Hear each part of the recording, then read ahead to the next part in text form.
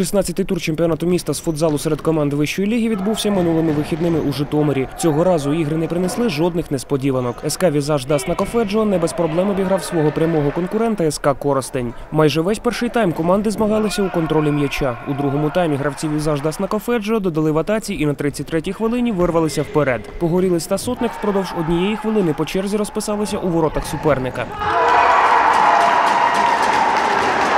Заключні хвилини гри коростенці намагалися відігратися з п'ятим польовим гравцем, але безуспішно. 1-2 на користь візажу.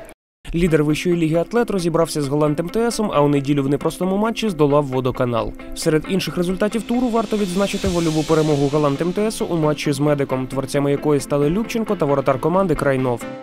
Наразі Галант МТС повернув собі восьму сходинку і з 18 очками ділить з грантехом восьме-дев'яте місце у турнірній таблиці. Лідерство у вищій лізі продовжує зберігати атлет, який має гандикап у 9 очок від найближчого переслідувача проміня. Енергія, навіть попри виграний двобій у грантеха, залишилася на четвертому місці. Трійку призерів замикає МФК InBev. СК Візаж Дасна впритул наблизився до п'ятого місця, яке утримує за собою водоканал.